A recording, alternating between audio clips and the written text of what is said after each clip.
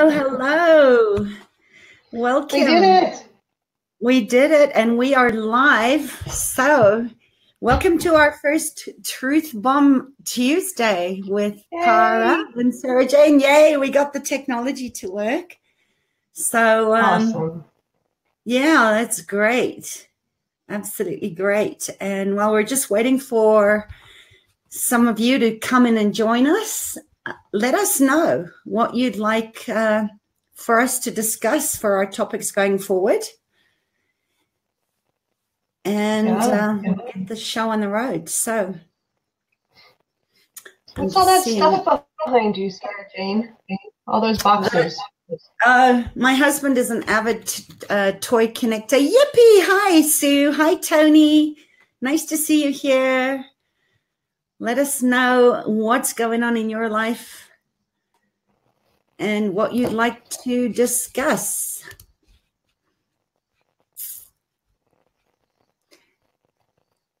So I'm still trying to figure out how this all works. So let's see what's going on. Cryptocurrency all the way, says Tony Tate. Tony will have to do a show, um, especially all about that and how to create your own economy, which is all about service. And um, let us know. Let us know if you're tuning in now or if you're watching, going to watch this on the replay.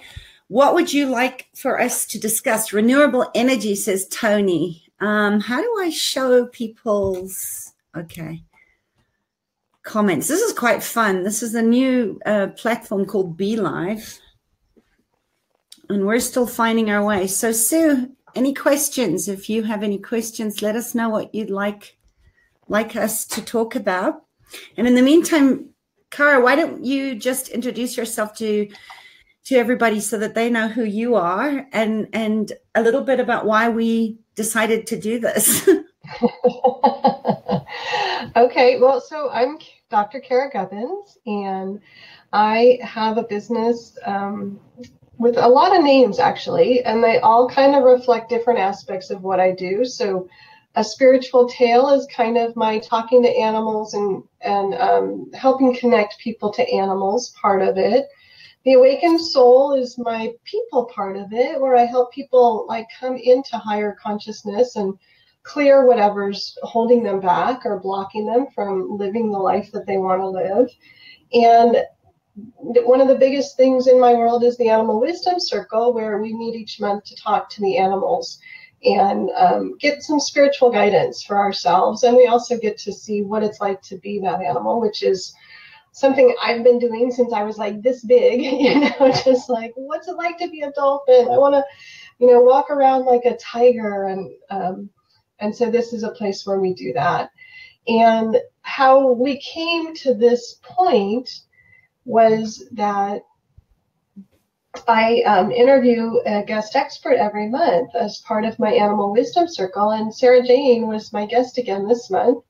Um, two years ago, I think we met two years ago, and we just like had this spark between us and have so much common ground, and the conversations we have are just so rich that we don't want them to ever end. So we want to keep them going here, basically.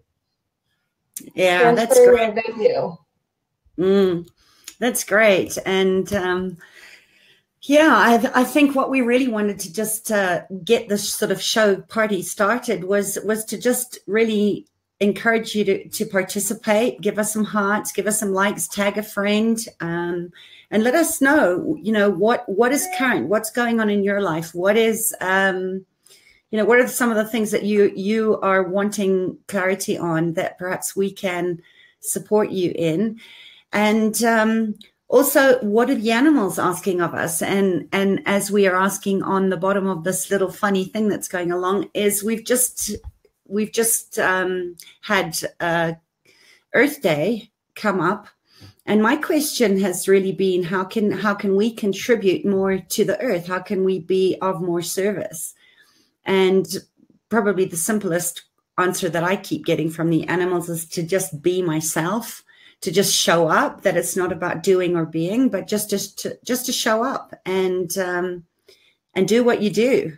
in life, which is to live from authenticity and vulnerability and and to ask lots of questions. So so yeah, do you have anything to add to that, Cara? I think that's it. I mean, that's really the heart of why we're here. We're here to be ourselves. Mm. And when we aren't being ourselves, then things aren't happening. And with all the things that are happening on our planet today in terms of politics and environment and, um, you know, all kinds of just crazy stuff, um, from from the smallest scale to the biggest scale, right? There's there's imbalance, I think, in our world on every level right now.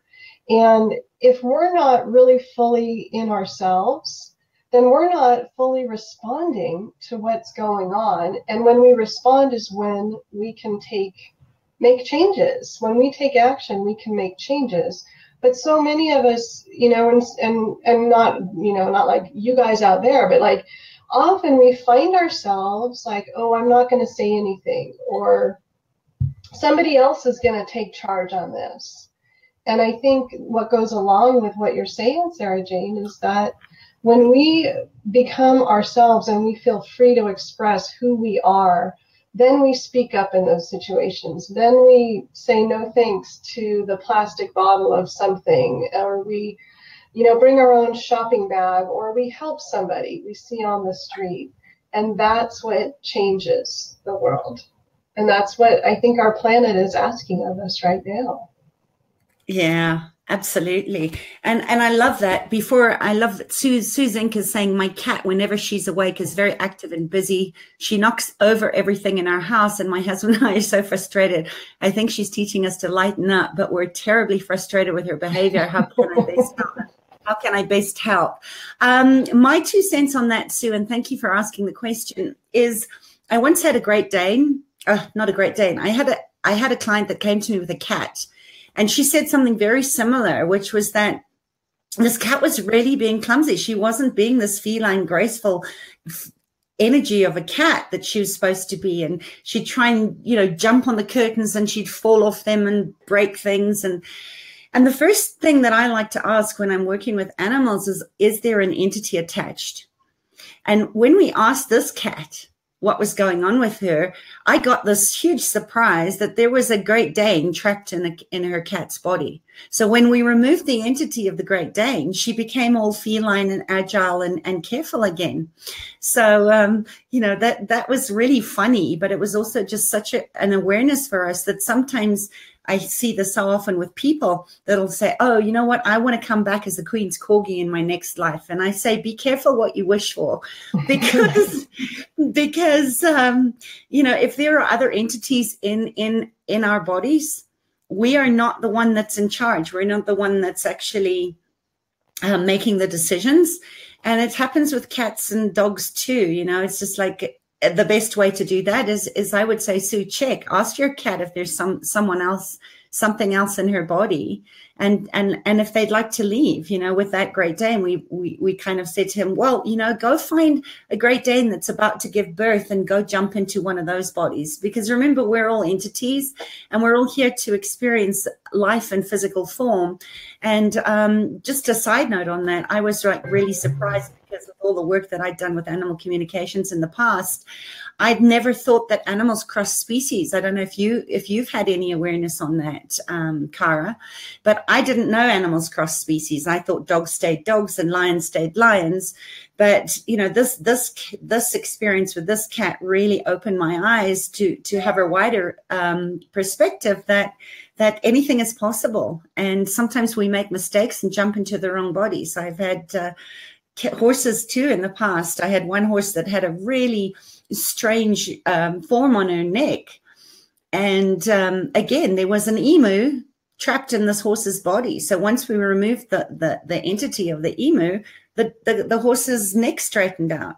So no amount of chiropractic or anything was helping. And it's really, you know, I think what I love about doing this work, as I know you do, Cara, is the animals are constantly teaching us about, you know, just how small we actually do think and how easy it is for us to get trapped in the conclusional reality rather than looking at, okay, what else is possible and what's going on here. So that's my two cents of that, Sue. I hope that I hope that helps. Do you have anything to add, Cara?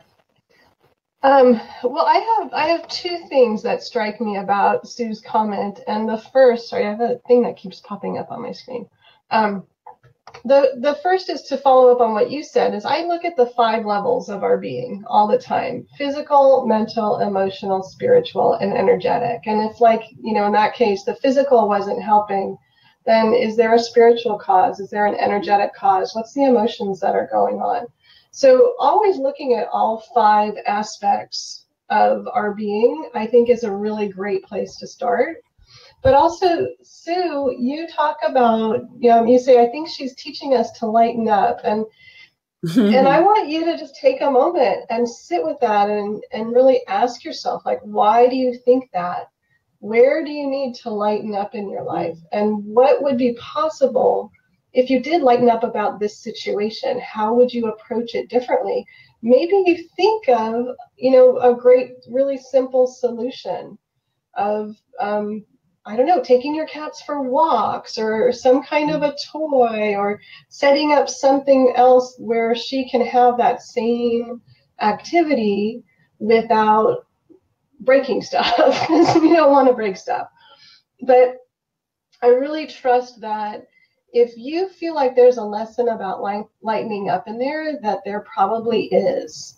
And to take a moment to just go a little deeper in that. What is your intuition telling you about that? And and if you lean into it, how does it feel? And then what what what comes from that? But to me, that first step is trusting your intuition and just leaning into it a little bit more. Yeah, I love that you added that because Absolutely. We have to look at all five levels and we're body, mind, spirit, heart, we're all of it. And um, if you're asking the question, I would definitely say lean into trust on that, as Cara said, because oftentimes we do take ourselves so seriously. And um, that's just a great awareness to actually be able to receive the information without labeling it as a bad behavior or anything else. But just to say, I, I often say in my animal communication sessions, I always say, could you just help me here? You know, I'm a little slow as a human. could you just, could you show me more of what what you're asking for. And and they're always so so eager and generous with their with their replies. And um, you know i also think that you know if we ever sort of get stuck on something it's because oftentimes we have a truth with a lie attached. So the question of you know what does trust have to do with anything is really looking at the difference between truth and what's true you know for me a truth is somebody's fixed point of view about what they think is right and they wanted to often to deliver it to us. Animals are not like that but i find that humans really function from that po- point of view. So i always like to ask you know what part of this is is the truth because what's true for me doesn't necessarily have to be true for you and what part of it is a lie so oftentimes when we're speaking there's an unspoken element to it where we we feel that we pick up on on other people's energy because our first line of, of communication is energy. And oftentimes it'll feel light at the beginning and then it kind of gets heavy at the end. And and if you really sort of take time to just push pause and and and slow it down, you'll see that there's some truth to it. Even when you read stuff, you know, this is a really good way of staying in your truth. Um, which is why we called this Truth Bomb Tuesdays, because we want to look at, you know, what is true um, for you? What what what do you care about? What moves and motivates you? And really returning to that part of trust where where you can trust yourself above anything else. You know your animals better than anybody else. And you know one of the universal laws um, for me is that what we think is truth is generally the truth. So I always like to, to add truth before I ask someone a question, either out loud or in my head, because then you'll pick out what is true for you and what is a lie. So that's just another fun tip that I like to use um, to really look at. You know, if it's light, it's true. If it's heavy, it's a lie. And and following through, you know, following your body's impulse, following what your cat or your dog is trying to teach you. So um, so yeah, any other questions coming in? I'm just checking this feed. This is quite fun, this, that we can see the comments on the bottom. Um, I can't see them, Sarah Jane. I'm glad you're reading them because I can't see them. Oh, can you not see it on the bottom of the screen? Mm-mm. It's like a red. Oh, okay. So can you see that? When you do that, yeah, it shows up like above your face. Yeah. On my screen. Okay. So. All right. Well, we'll we'll iron out the chinks of all of this, but um, no other comments. So if you are re- are going to listen to this on the replay, just leave your comments, and and Cara and I will be sure to answer them as best as we can. And be sure to join us um, next Tuesday at the same time. Yeah. So just 20 minute little sound bites of, of love and, and connection for you to really ask us anything. Um, and also to contribute what you know about, about all of this, because together we, we grow. Um, and it's so much more fun, isn't it? It's way better to do it together than on our own. Absolutely. Yeah. So Anything else you'd like to say? I'm playing with the buttons here. This is fun. I can see that. I get these little notifications that you're changing things. Mm. I don't see anything changing at my end. So yeah. Hope it's all good. Yeah. So, so just in closing, because we we really want to keep these to twenty minutes. What else would you like to to say about Earth Day, or how we can perhaps contribute to the mm-hmm. Earth? Because I know this is a big topic, Cara, right now, where people are really thinking that that what they are doing and how they are showing up isn't enough. So, what would you say to somebody that that's kind of doubting that their contribution is enough? Oh, so um, last year in the Animal Wisdom Circle, I talked to a manatee in Florida, and she had the best advice because this question came up there, and um, and she was, you know, pretty strongly um, upset about global climate change, and you know, so we asked her what can we do, and her answer was amazing, and it's perfect for the question you're asking. Whenever you're faced with an option choose the simplest choice. Mm. So if you're faced with, you know, buying vegetables in the grocery store, and you could get the packaged ones that are in, you know, like a little styrofoam plate and cellophane on top and stickers and blah, blah, blah. Or you could just grab a couple and not even put them in a bag, but just put them in your shopping cart. Mm. Choose that. And that's been one of my guiding principles for a long time because there's always something that I can do in every situation whenever I'm faced with that choice. Choose the simplest option. So that's what I that's my closer, Sarah Jane. oh, I love that. And and I'm so glad you brought that up because I was I was really, I've been seeing a lot of very disturbing images on Facebook and social media about just how much plastic is, is landing up in the oceans and and also on the good note actually seeing that you know these are these are what these truth bomb tuesdays are about is how can we make small changes that are going to create big em- impact? And it comes down to buying local um, buying things that are in season and saying no to your local local grocers and stores that you don't want all the plastic. I'm horrified by the amount of, of plastic waste that that accumulates within a week of, of my life. And um, you know, unless we actually speak out and start saying, no, we're not going to support you. Um, and, and, support your local farmers market or support your local people where we're eliminating the greenhouse gases by by by vegetables and fruit being flown on in from all over the world we do get to make a difference. So you know your voice does count. And as as manatee so beautifully told us um you know that, that it starts with small actions um to have great change. And and also start start up drives in your community. I have a the crocodile river running through my um, where i live. And every weekend the community gets together and we go and we clean up the banks of the river and take out all, all the plastics. So don't let anybody ever think that that your small choices are not making a difference because they add up to big change. And um, yeah, yeah on yeah. that note um, that's our first 20 minute Tuesday. Um, let we us know if you like them. We did it. We sorted technology out. And um, just remember that the power of choice is yours and you get to choose uh, to create a bigger, better life for you, for the animals, for the planet, just by showing up and, and speaking your truth. So stay in your truth, shine your light, and know that we appreciate you And uh, we'll see you next week. Bye. Bye.